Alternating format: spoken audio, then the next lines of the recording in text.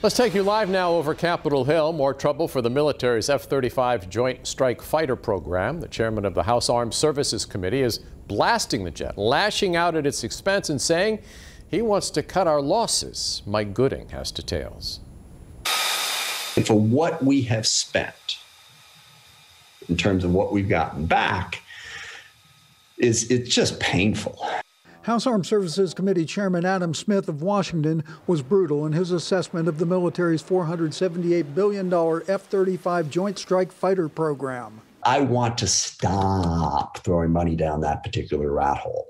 A Government Accountability Office report last May concluded that the F 35 is not meeting standards aimed at ensuring consistent high quality products, and fielded aircraft do not meet reliability goals. Current Department of Defense plans call for acquiring a total of 2,456 F 35s, despite the plane's 873 unresolved design flaws.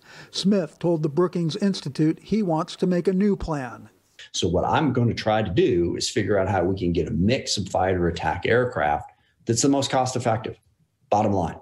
Okay.